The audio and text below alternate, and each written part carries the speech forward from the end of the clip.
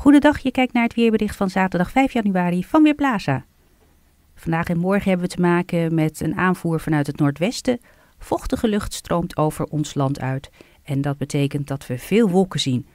Zo nu en dan valt er een beetje regen of motregen. Het blijft echter vaak droog. De temperatuur ligt rond een graad of 8 en daarbij waait een stevige noordwestelijk wind.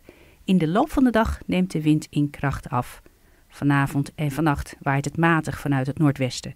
En het koelt dan uiteindelijk af naar een graad of 4 in het oosten van het land. Morgen zien we ook veel grijze luchten. Het is vaak droog en het wordt 7 graden. Staat wel minder wind dan vandaag, hooguit windkracht 3 vanuit het noordwesten. Maandag begint de dag droog, met mogelijk wat zonneschijn. In de loop van de dag betrekt het en vanuit het noordwesten gaat het regenen.